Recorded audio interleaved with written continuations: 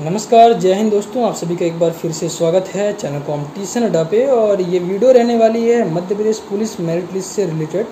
जो भी आप लोगों के सवाल कमेंट बॉक्स पे आए हुए थे, उनका जवाब दूँगा मैं इस वीडियो पे, जैसे कि एमपी पुलिस मेरिट लिस्ट कब तक में आ सकती है, साथ में क्या इशू है, क्यों नहीं आ पा रही है।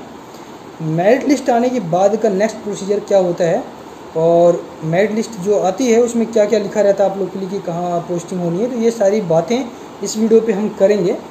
सबसे पहले आप लोगों को मैं बता दूँ कि एमपी पुलिस मेरिट लिस्ट सबसे बड़ा जो इशू है, वो है ओबीसी आरक्षण का, जो 27 परसेंट वाला अभी केस चल रहा है ओबीसी आरक्षण का। इस कारण से कहीं ना कहीं मेरिट लिस्ट आने में और मेन जो फाइनल मेरिट लिस्ट है, उसको बनाने में देरी हो रही है। लेकिन मैं आप सभी को एक चीज़ ज़रूर बता सकता हूँ कि आप लोगों का मेरिट लिस्ट कितना भी लेट आए ज्वाइनिंग और ट्रेनिंग आप लोगों का अगला जो विधानसभा चुनाव है, उसके पहले स्टार्ट हो जाएगा। जो 6000 लोगों की नई नियुक्तियाँ हुई हैं, इनका उपयोग अगले विधानसभा चुनाव ड्यूटी में अवश्य किया जाएगा सरकार की तरफ़ से। तो इस कारण से आप लोगों की जो ज्वाइनिंग और ट्रेनिंग है, वो ज़रूर अगले विधानसभा चुनाव के पहले स्टार्ट हो जाएगी। रही बात मेरिट लिस्ट के बाद का अगला प्रोसीजर क्या है तो मेरिट लिस्ट जब जारी होती है तो उसी में एक पॉइंट होता है यूनिट अलाटमेंट के अंतर्गत आप लोगों का ये क्लियर हो जाता है कि आप लोगों को डीएफ मिली है या एसएफ मिली है या रेडियो ब्रांच मिली है। ये सभी एम पुलिस की नेक्स्ट ब्रांच हैं। आप लोगों को तक इनकी इनके बारे में जानकारी मिल चुकी होगी। तो जो भी आप लोगों को ब्रांच मिलेगी, जो भी ज़िला मिलेगा या जो भी बटालियन मिलेगी, वहाँ आप लोग को जा कर के मेडिकल के लिए वहीं के जिला चिकित्सालय अस्पताल में संपर्क करना पड़ेगा।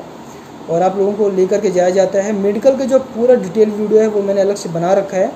दोबारा से मैं इस वीडियो में उसको इंक्लूड नहीं करूँगा। तो उसके लिए मैं कमेंट बॉक्स पे और डिस्क्रिप्शन बॉक्स पे लिंक उसका प्रोवाइड कर दूँगा तो आप वहाँ क्लिक करके उस वीडियो को ज़रूर देखें। इसके बाद आप लोग का मेडिकल कंप्लीट होने के बाद दो से तीन दिन लग जाएँगे मेडिकल में। मेडिकल के बाद आप लोगों को ज्वाइनिंग के लिए कॉल आएगा आपके खुद यूनिट जहाँ भी अलॉट की गई है वहाँ से, कि आप लोगों की इस तारीख को ज्वाइनिंग है, आप वहाँ आ जाएँ। और उसके कुछ दिनों बाद आप लोगों को ट्रेनिंग के लिए भेज दिया जाएगा। तो ये पूरा प्रोसेस होता है। और सबसे मेन तो यही है, जो लोग सिलेक्ट हुए उनको बहुत बहुत बधाई हो और एमपी पुलिस मेरिट लिस्ट जल्द देखने के लिए मिलेगी। ओबीसी आरक्षण वाला मुद्दा।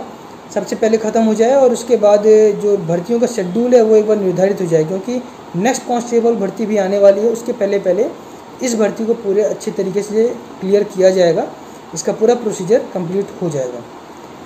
इस वीडियो में दोस्तों इतना ही। नेक्स्ट वीडियो फॉरेस्ट गार्ड भर्ती से रिलेटेड अपलोड करने वालों में मैं उसमें कितने पदों पर भर्ती होने वाली है तो उस वीडियो के लिए चैनल को सब्सक्राइब ज़रूर करें। मिलते हैं नेक्स्ट वीडियो पर धन्यवाद।